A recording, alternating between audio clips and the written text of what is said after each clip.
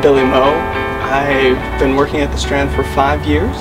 I've spent all of that time on the main floor in various sections from the dollar carts outside to film and drama and classics, as well as working at the registers and working at the buying desk.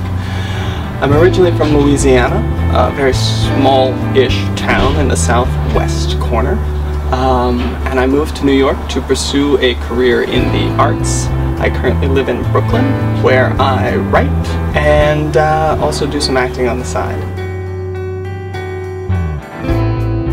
I really like working on the Strand because of the exposure to various types of people um, co-workers, uh, just about everybody here has some sort of uh, passion that they do outside of the store. Painting, writing, drawing, dancing, musicians. Um, so it's a real nice exposure to the arts.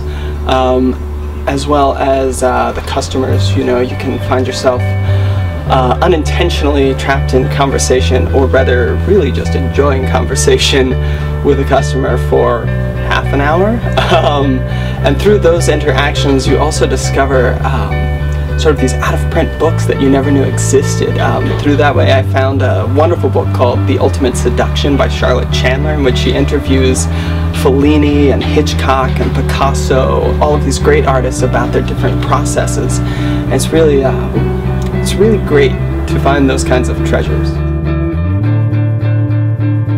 There is a column in the general history section that is covered with a map of the world as delineated in 1931 by Rand McNally and it serves as, to me, serves as a tribute to all of the found objects in books. Uh, working at this store, there's a lot of found objects in used books and there was a time when I first started that many columns were covered with these found objects, uh, but as we sort of cleaned up the store, those got moved to our Tumblr.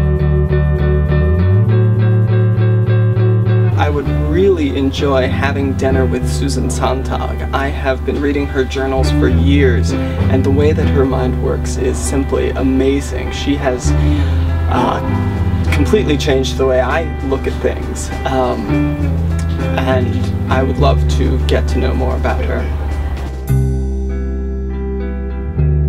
The book that I could read over and over again is Pema Chodron's When Things Fall Apart.